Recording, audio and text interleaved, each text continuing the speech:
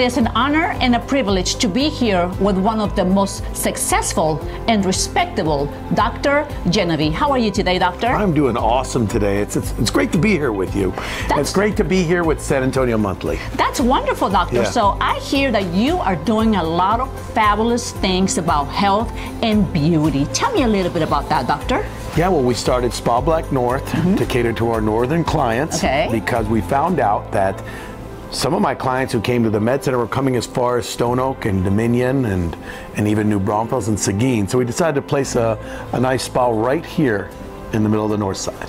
in the heart of the north side in San Antonio, Yes. Texas. Doctor, tell me what has been the key to your success? I think um, I'm just sort of a normal, average, blue collar, white collar plastic surgeon. I, I grew up in the in Washington D.C. area, and I did public schools, and, uh, and eventually made it to the Ivy Leagues. But I've always grown up with a sense that I need to give back to just the regular people who need stuff done. Wonderful. And I want you to tell me a little bit about this beautiful confession of a plastic surgeon.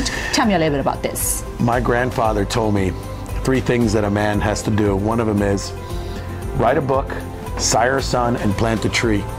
So I've done two out of the three now.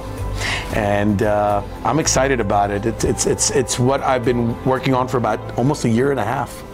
And I understand, doctor, that you are donating a percentage Yes. of your book sale to a nonprofit. And Yes. what is that nonprofit, doctor? We're actually going to do three that are dear to my heart. One is Wounded Warrior Project. The other is Dress for Success, that dresses uh, women who are in need, uh, basically due to family violence, and then also Family Violence Prevention Center here in San Antonio, which is the, one of the largest in the country. Well, I highly recommend that you stay tuned with San Antonio Monthly to find out all the details about Dr. Jeneby because you will be surprised what Dr. Jeneby can do for you. Thank you, San Antonio Monthly, for always supporting health and beauty and wonderful doctors like Dr. Jeneby. Hasta la vista.